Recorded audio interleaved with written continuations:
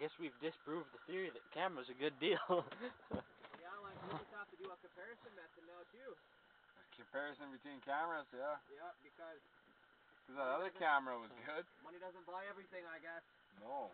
well, this is for the ocean. There's a big difference.